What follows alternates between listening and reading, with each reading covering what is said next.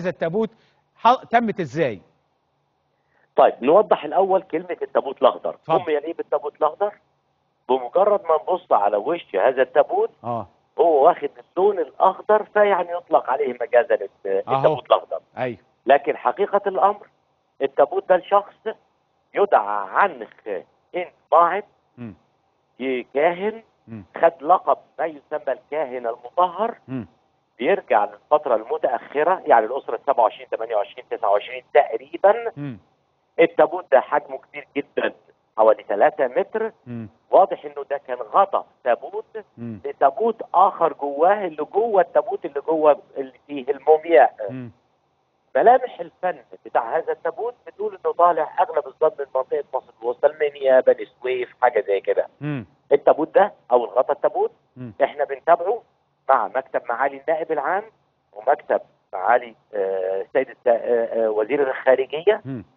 من 2019 مم. والتعاون المشترك مع المدعي الأمريكي. قدرنا على مدار السنتين وشوية. إدارة الآثار المسترده. إن إحنا نثبت إنه طلع بطريقة غير شرعية. وتتبعنا خطواته من إلى من إلى.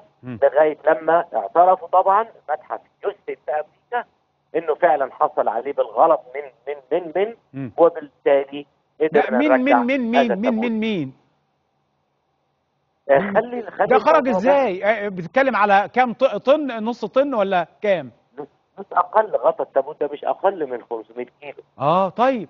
خرج إزاي ما من مصر؟ خرج بطيارة ولا ما بمركب تنساش 2011 واللي تم فيها. هو ده خرج في 11 الله أعلم لكن ما ننساش إنه في توابع معينة وفي ظروف معينة وامتلاكات معينة وإلى آخره. آه. لكن آه، آه، التحقيقات ما زالت مستمرة؟ آه. آه طبعا. آه. هيفتح على قصص آه، ثانية؟ آه طبعا. آه. كلها متابعها مكتب معالي النائب العام؟ آه طبعا. آه. هل أعرف تفاصيلها؟ أنا لا ما أعرفش تفاصيلها.